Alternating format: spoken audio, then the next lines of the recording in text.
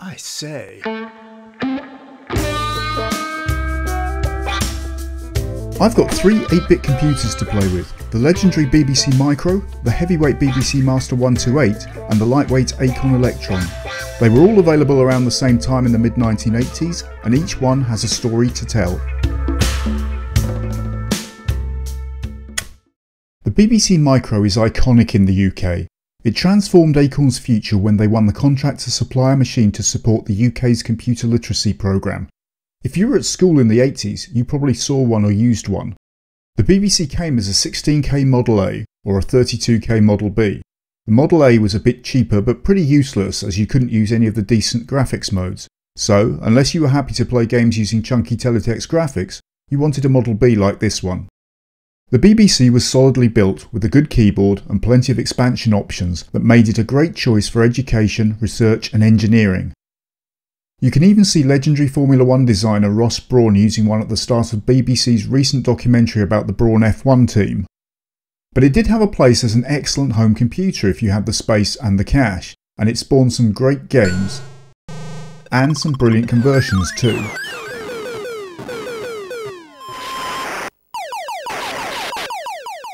The other two computers embodied the two personalities of the original BBC Micro. The Master is the serious side, bigger and with a numeric keypad, built-in spreadsheet and word processing software, a disk interface and sideways RAM, the Master was very grown up. the Electron was the playful side, a cut down, smaller, cheaper machine to compete with the top selling ZX Spectrum. It had less intimidating air to it and just the bits you needed to play games from tapes. But the Electron had its problems. Usually smaller things are faster, but the Electron is definitely not. Its memory access is much slower than the BBC Micro. To be accurate, RAM access is much slower to accommodate a cheaper, more compact data bus. It also doesn't have teletext graphics. In the days of analog TV, teletext was an ingenious way of sending information to domestic TV sets. Because each page was only 1k of data no matter how simple or complex, a load of pages could be sent in sequence, and, Eventually, the page you selected would be picked up and shown, usually news, sport, or weather, in colour text and shoddy graphics. The BBC Micro had an optional add on box that could receive teletext data and a built in teletext graphics mode. The fact that it was only a 1K screen left more room for code and data if you were happy with 40 column text and rudimentary graphics. That worked well with things like educational software, now, one of the selling points of the Electron was that it was a bit like the BBC Micro your kids used at school, and to a large extent that was true, but not when it came to teletext mode. However, it did still have the excellent BBC version of the basic programming language. The BBC Master is a big unit, similar in size and weight to next generation 16-bit machines, Compared to the standard BBC Micro, it has a slightly better processor running a little bit faster with a few more instructions and using less power. My one has a secret, although it's not that secret if you've seen one of my earlier videos. This master has a Pi coprocessor inside.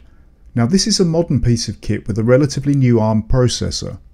The A in ARM stands for Acorn, and Acorn developed the original ARM design using BBC micros and the Tube coprocessor interface, one of the unique expansion features of the BBC and the Master, but only the Master had the internal connectors. This modern CoPro can emulate a whole range of systems including the 6502 Z80 an original ARM from back in the day, as well as a super fast modern ARM.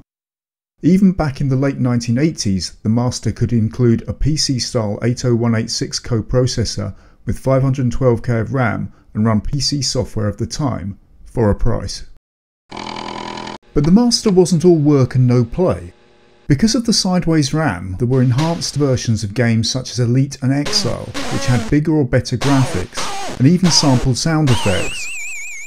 You see, one of the biggest problems with the BBC B was its memory, you got 32k of RAM, and the other 32k of addressable memory contains an operating system and basic interpreter that made other computers of the era look like toys.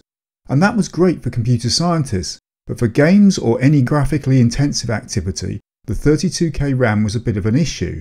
All the good display modes used 20k. That did allow you to colour each pixel individually and gave you some fairly high resolution modes for the time, but only left 12k for programs and data so some developers would hide and steal parts of the display for their own use. The BBC Master had more flexible memory management, allowing you to have 20k of screen shadow memory, effectively outside the normal 32k of user RAM, and you could page in banks of 16k sideways RAM. You could also add a sideways RAM and ROM card to your standard BBC if you wanted to, as there were plenty of companies who made them. Acorn did some good work with storage outside the machines too. Whereas most home computer users in early 1980s Britain had tape cassettes as their storage media, the BBC computers commonly had disk drives added. While still quite primitive by modern standards, the literally floppy 5 and a quarter inch discs gave you fast random access that was a huge step up from cassette tape. The Electron is the exception here. You could get a 3.5 inch disc expansion, but generally anyone buying an Electron was looking to invest less cash and would settle for tape loading. The Electron didn't come with the same range of expansion options as the bigger BBC machines. You just got a circuit board edge connector. If you wanted to expand your Electron, the factory option was the Plus One, which gave you a parallel port for printers and the like, an analog port that could be used for joysticks, light pens or other input devices, and two cartridge slots. Acorn had plans to publish more games titles on cartridge, and today you can get a cartridge with loads of games and utility programs to choose from. On my BBC machines, I've got an SD card equivalent connected to the user ports, a more modern implementation of the same idea. When you look inside the machines there are some differences. The BBC-B is the older design, so there are more small discrete logic chips. The Master has a lot of these consolidated into gate arrays, which partly makes up for all the extra goodies included in the case of the Master, and of course, my one has the Pi coprocessor sitting on a bright green shiny new circuit board, making the rest of it look a bit old and grubby. I think they call it patina in the antiques trade. The Electron comes in a much smaller box, and that's achieved mainly by the infamous Ferranti custom ULA that consolidated the memory management, video and audio functions.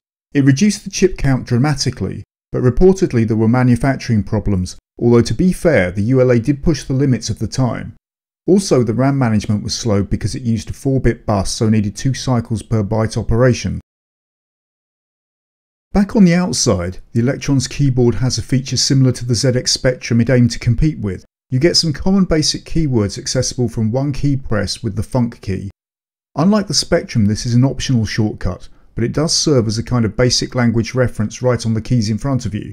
It also helps to advertise some of the features when it's sat on the shelf of a 1980s high street shop next to its rival.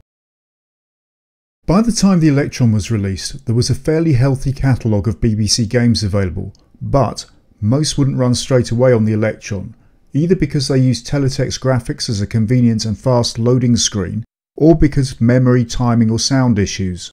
The Electron only had one channel sound compared to the BBC's three channels plus noise, to be fair, most games did convert with minimal effort, but there wasn't instant perfect compatibility.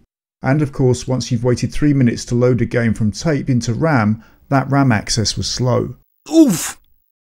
To compare speed, I'm going to look at Elite.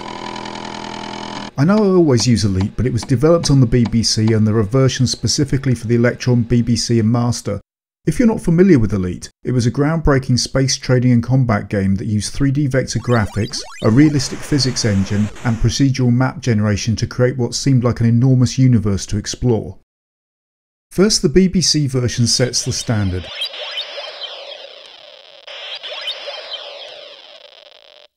It's slightly flickery and can slow if there's a lot going on, but it's perfectly playable for the era.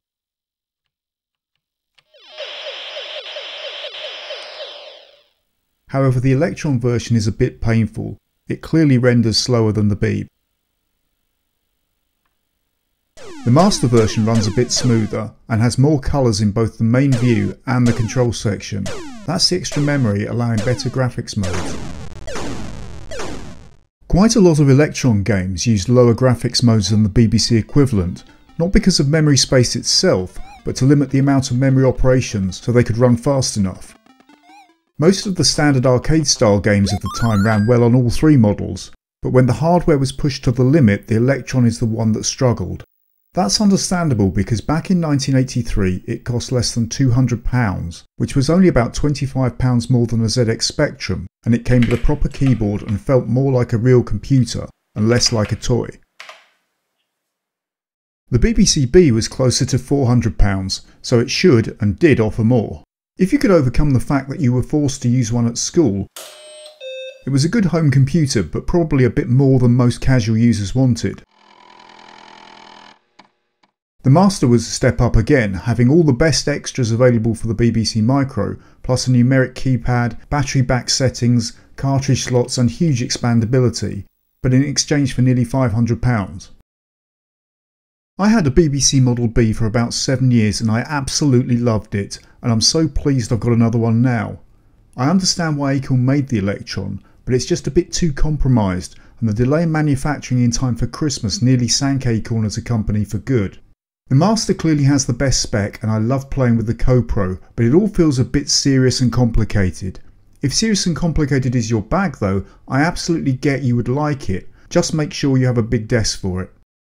All three still work well today because you can get video cables for modern displays and if you don't want to load software the traditional way, there are modern alternatives. Some maintenance may be required.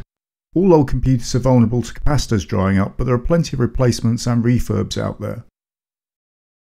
I'm not sure there's going to be a modern retro version of the Beeb anytime soon like we've seen for the Commodore 64, Atari 400 and ZX Spectrum, but I'm happy to preserve and use these three Acorn originals for the foreseeable future. I've had a lovely three-way. I hope you enjoyed watching it too. Till the next time, cheerio!